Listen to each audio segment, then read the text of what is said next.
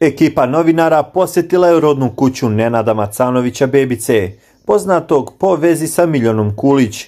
Njihov odnos nikoga ne ostavlja ravnovdušnim, a ekipa emisije premijera uputila se ka rodnoj kući intrigiranog zadrugara kako bi saznala nešto više o famoznom Bebici. Reporterka gore pomenute emisije došla je u kotež, a Bebicina majka je istakla da o realitiju i vezi sa Miljanom ne želi da govori.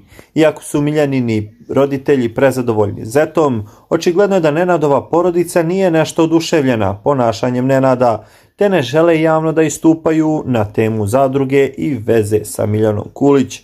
Ovo je Nenadova kuća, kao što vidimo nalazi se na periferiji grada Beograda. Komentarišite šta vi mislite o Bebici i njegove vezi sa Miljanom i bacite subscribe za još novosti. Pozdrav!